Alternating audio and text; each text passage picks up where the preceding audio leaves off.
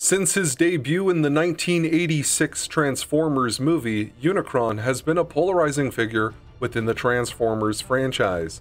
So today, we're going to take a look at the origins of Unicron and his brother Primus. Before we get started, don't forget to like and subscribe if you guys want to learn more about your favorite Transformers. Now, to do this, we have to go way back before the dawn of time, where an extra dimensional entity known as the One desired to explore the universe, and so he created the being known as Unicron. The One would then subdivide Unicron, creating his twin and eternal archenemy, Primus. Both brothers were multiverse singularities, unique in all realities, but where Unicron could only exist in one dimension at a time, with the ability to move between them at will, Primus existed simultaneously in all realities at once. These two brothers would embody the basic concept of reality, order, and chaos, and their continued existence is necessary for the stability of the multiverse.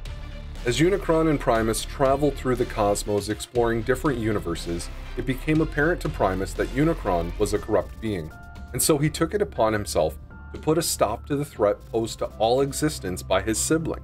In combat, Primus was no match for Unicron. However, he proved himself to be his brother's superior when he would shift their battle to the astral plane and then back to the physical world once more, only to have both their essences trapped in the form of metallic planetoids. It was this act of sacrifice that Primus hoped to contain Unicron's evil forever. Unfortunately for Primus, Unicron would learn to transform his planetary form even further, allowing himself to now transform into a gigantic robot.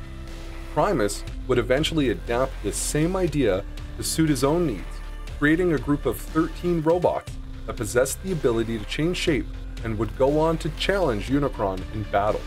You probably know of these 13 robots as the original 13 Primes, often spoken of as myth or legend, but their story is for another time. The war between Unicron and Primus would eventually come to its seeming end during a climactic battle in which one of the 13, originally known as Megatronus, who would forever afterwards be known as the Fallen, betrayed Primus and became an acolyte of Unicron. The battle would end when the Fallen and Unicron were sucked into a black hole and disappeared from reality. With Unicron gone for now, Primus entered an eons long slumber within the core of Cybertron, preventing Unicron from detecting him through the mental link the brothers shared.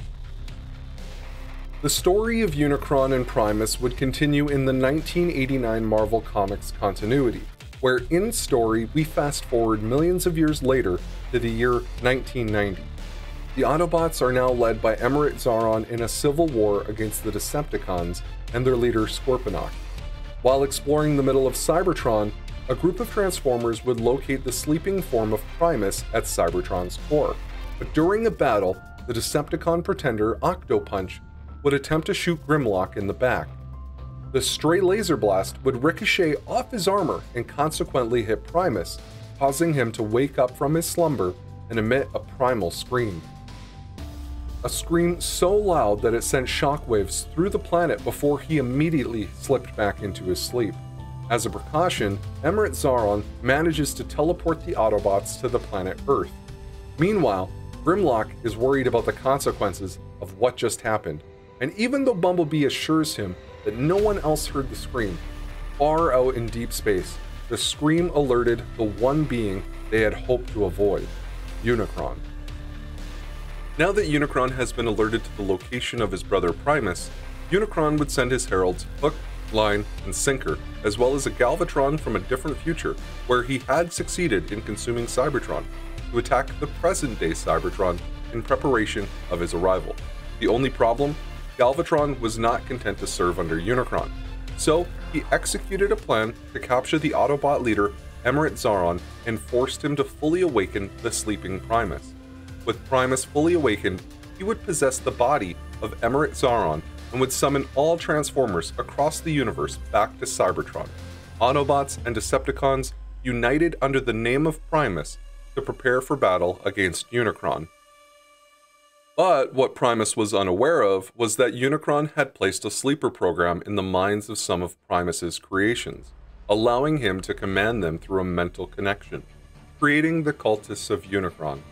Primus would go on to name Optimus Prime as the leader of his Cybertronian alliance, which consequently drew out the cultists into battle, where the cultists would attempt to assassinate Optimus Prime. The cultists would fail in their attempt, but was the perfect distraction for the arrival of Unicron. With Unicron looming over the planet Cybertron, he would transform into his robot form and rip into the surface of the planet, sampling its metal and declaring it succulent, while the Transformers on Cybertron began to flee in a blind panic. Primus, still possessing the body of Xaaron, urges Optimus and Scorponok to come and unite their warriors in the battle against the Chaos Bringer. Primus himself initiates an attack against the Dark God, but Unicron sees through what appears to be a ruse and destroys the body of Xaaron, robbing Primus of his host body. Frustrated that this so-called Cybertronian alliance isn't putting up a fight, Galvatron blasts Unicron at full power in an effort to humble him. While his attack does virtually no damage, it does as Galvatron intended, to inspire the Transformers to stand and fight. Soon, a planet-wide battle is raging and many Transformers are killed, including the Decepticon leader, Scorponok. Growing tired of the battle, Unicron would revert to his planet mode and prepare to devour the planet Cybertron entirely.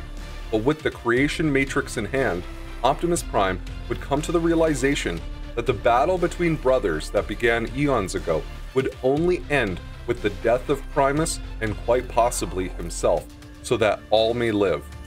Optimus would then fly with the Matrix directly into Unicron's maw overloading him with terrible, wonderful life, causing Unicron to explode as the survivors look on from the surface of Cybertron.